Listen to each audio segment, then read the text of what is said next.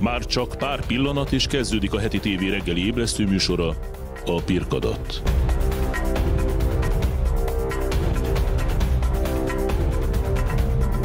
Élőben a stúdióból jelentkezik Brajer Péter.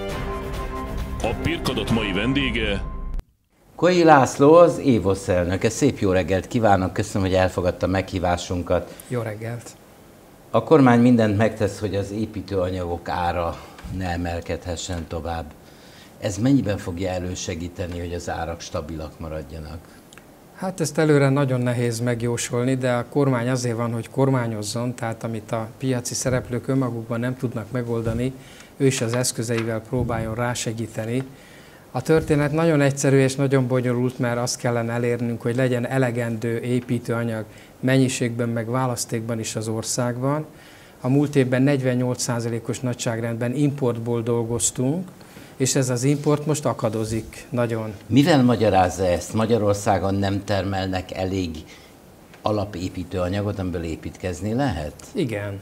Tehát nagyon nagy a kitettségünk, tehát 48%-os nagyságrendben Nem lehet, hogy túl dolgozunk. sokat exportáltunk, vagy olcsóbbak vagyunk, és a szomszédok ide jönnek, és az olcsóbb építőanyagot fölvásárolják? Valóban árnyalni kell a képet, tehát vannak olyan építőanyagok, tehát általában nem lehet csak úgy beszélni, amelyeknek 30-35 a kimegy exportra. Itthon gyártjuk, de kimegy exportra. Ha én jól értettem, akkor most az export le lesz állítva, és csak különleges engedélyekkel lehet exportálni alapvető építőanyagokat, sőt, nagyon oda fognak figyelni a szállító levelekre is az országon belül az építőanyagok mozgására is. Pontosan, tehát vannak úgynevezett kritikus építőanyagok, a miért kritikus, mert ott emelkedett leginkább az ár, illetve ott van meg a veszélye annak, hogy akár anyaghiány is kialakulhat. Ezek a kritikus termékek körülbelül 20 darab, 20 féle termék, és ezeknek a mozgását akarja nagyon figyelni a kormány, mi is nagyon szeretnénk figyelni, szeretnénk elérni, hogy a hazai gyártók előnybe részesítsék a magyar megrendelőt, meg a kivitelezőt, ezért az állam azt találta ki, hogy ezeknél a kritikus termékeknél ő szeretne egy elővásárlási jogot, ami nem egy egyszerű dolog, mert az unión belül az árunak, a munkaerőnek és a tőkének szabad áramlása van, tehát ezt Brüsszellel le kell, hogy egyeztesse. Ez így rendben van, de minden szentnek maga felé hajlik a keze, Igen. és ahhoz, hogy munkát tudjon biztosítani a saját munkavállalóinak és a leendő fiatal pároknak, illetve akik lakáshoz szeretnének hozzájutni, ahhoz megfelelő mennyiségű építőanyagra van szükség. Igen, igen, ez, ez így van. Más állam is próbálkozik hasonló intézkedésekkel itt az unión belül. Sajnos Brüsszel nagyon nehezen mozdul erre a témára rá, tehát ez a kereskedelmi világháború az év végéig biztos, hogy eltart, és aki időt nyer, az terméket az nyer, nyer, az itt most építőanyagot nyer, hogy különböző irányokból hogy tudja beszerezni. Mivel magyarázza, hogy nagyobb a kereslet, mint a kínálat? A szocializmus idején e, szerintem egy csapásra meg lehetett volna oldani a lakáshiányt, de nem akarták megoldani, mert ez egy ilyen elterelő antenna volt, arra mindent rá lehetett fogni, lehetett rajta kérőzni orvérzésig. Hát most, aki csak teheti, a járványra fogja, és jogosan, hogy az elmúlt másfél évben azért az építőanyaggyártó cégek sem működtek százszázalékosan, nem gyártottak raktárra sem, meg felújítottak, és másfél éve elhalasztott kereslet hirtelen jelent meg a világnak azon a részén, ahol úgy gondolják, hogy vége van a járványnak, tehát nagyon nagy fogyasztói körökben, tehát egyrészt kevesebb az építőanyag, másrészt pedig lényegesen megnőtt a kereslet, és egy olyan országban, ahol 48%-os nagyságrendben importból kell ezeket beszerezni, megjelenhet a hiány. Értem. Ahogy készültem erre a beszélgetésre, megnéztem, nagyon sok olyan ország van, ahol pontosan a járvány miatt nem szabadítottak földeket, nem csoportosították át őket, tehát le vannak maradva, és ennek egyenes hatása, hogy az árak az egekbe vannak. Nem kezdődtek új építkezések. Hasonló a helyzet mi nálunk is, vagy nálunk az adminisztráció egyszerűbb? Magyarországon ezt az áremelkedést nem a belföldi kereslet és kínálat alakulása okozza alapvetően. Alapvetően a világkereskedelmi folyamatok okozzák, és az, amiről ez idáig beszéltünk. Tehát nem igaz az például, hogy mert a kormány támogatást ad otthonteremtésre, meg csok, meg stb. Mert ha azok csak általában a, nem új lakások, azok hát meg, hogy ha csak a V4 és... országokat megnézzük, ahol ilyen mértékű otthonteremtési támogatás nincs, ugyanolyan mértékben emelkednek az árak, mint Magyarországon. Ennek ellenére az újabb rendeletekkel elérhetjük, hogy legalább tovább nem fognak emelkedni az árak? A kormánynak meg nekünk is ez a reményünk, hogy el lehet érni, nem a kormánytól és a magyarországi piaci szereplőktől függ.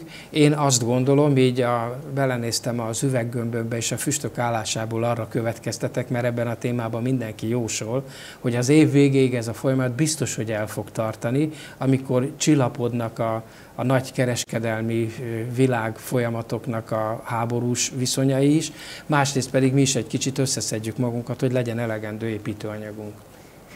Tulajdonképpen miket építünk? Középületeket vagy lakásokat? A, a, a lakások, tehát beleértve az újépítést és a felújítást, az az összes munkánknak körülbelül a 30-35 százalékát jelenti. Az összes többi dolog az, az valami egészen más. Tehát most jellemzően épületeket építünk, beleértve logisztikai, ipari csarnokokat is, de középületeket is, sportlétesítményeket is, egészségügyi létesítményeket. Most itt a nyári hónapokban nagyon-nagyon jellemző az oktatási létesítményeknek a gyors felújítása az iskolai szezonra, és ami gyengélkedik, és a KSH tegnap hozta a legfrissebb adatokat, az az úgynevezett mélyépítés, tehát az út, vasút, infrastruktúra, ivóvízbázisok, csatornarendszerek rekonstrukciója, az jóval kisebb, mint mondjuk akár a múlt évben a járvány ideje alatt is volt. Mennyire vagyunk elengedve szakemberek területén? Tehát a magyar szakemberek eh, építésznek lenni, könyvesnek, de én az alap eh, munkára gondolok. Mennyi szakemberünk van, vagy azt is elszipkázza a nyugat? Ez egy érdekes dolog, hogy jó szakember, szakmunkás és mérnök nincs elegendő. Ezzel 2015 óta élünk együtt, és a következő 15 évben ez lesz a helyzet Magyarországon. Mert nem képezünk eleget? Nem képezünk eleget, Mert de nem nincs itt elég elég jelentkező? Igen, tehát... Vagy nincs elég iskola? Az anyuka és a gyerek érdekeltsége az úgy működött, hogy nem adja a gyerekét építőipari szakmába, még azt is mondhatnám, hogy aki egyes, kettes, hármas végzettségű gyerek volt, na, az majd jó lesz az építőiparnak. Itt viszont trendváltozás van, tehát nem jó az építőiparnak, egy tudásigényes ágazat lettünk, és miután mutatjuk azt, hogy nálunk is van informatika, 3D, eh, lendületes feladatok, elkezdtek a fiatalok érdeklődni, és anyuka is, és természetesen anyuka azért, mert lényegesen többet fizetünk, mint pár évvel ezelőtt, és például a múlt évben, a 2020 2021-es tanévre 30%-kal több gyerek jelentkezett, mint amennyien végeznek most például építőipari szakmákban.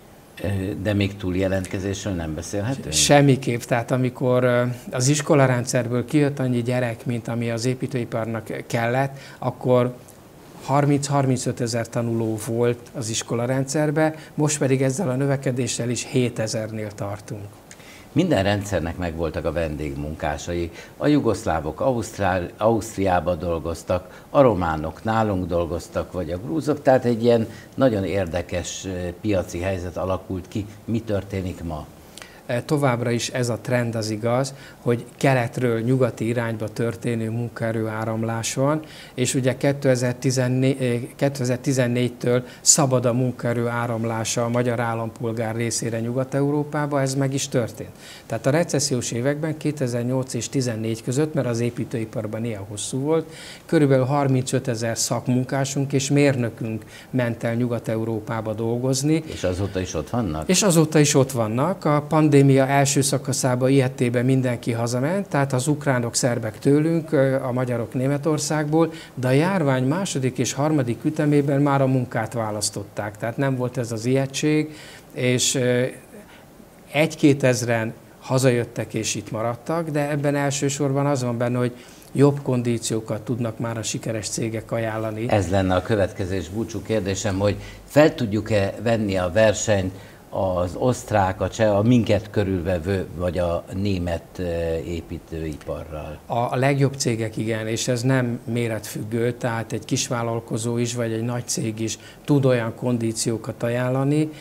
A probléma egyelőre az, hogy a kintiek nem tudják, a kint dolgozók meg nehezen hiszik el. Innen is adódik egy feladata az Évosznak is, hogy az idén is próbáljuk folytatni a hazahívó programunkat. Tudnak ajánlani a legjobb cégek megfelelő kondíciót. Ez nem a hirdetés helye, de akinek rokona van és valahol külföldön az építőiparban dolgozik, tegye meg azt a baráti szívességet, hogy fölhívja és elmondja, hogy képzelj el, Magyarországon is lehet ugyanannyit keresni, és itt az ember a saját ágyába alszik, és talán a körülmények is jobbak. Köszönöm, hogy rendelkezésünkre állt, és mielőbb visszavárjuk. Kedves nézőim, az elmúlt negyed órában Koi Lászlót látták és hallották, az Évosz elnökét. Tartsanak velünk, hamarosan jövünk vissza.